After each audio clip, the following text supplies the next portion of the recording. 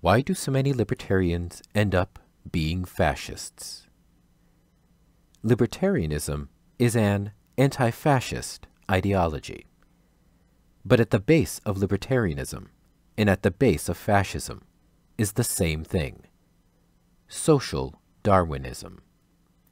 That value goes to those who win in a struggle. There's nothing in libertarian philosophy that explains why all human beings have dignity and value, regardless of their capacity to win in a struggle.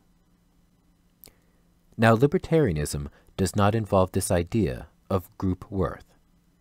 So, libertarianism is a philosophy of the individual, and as such, is inconsistent with fascism, because fascism says certain groups are harder working than other groups, and therefore have more value.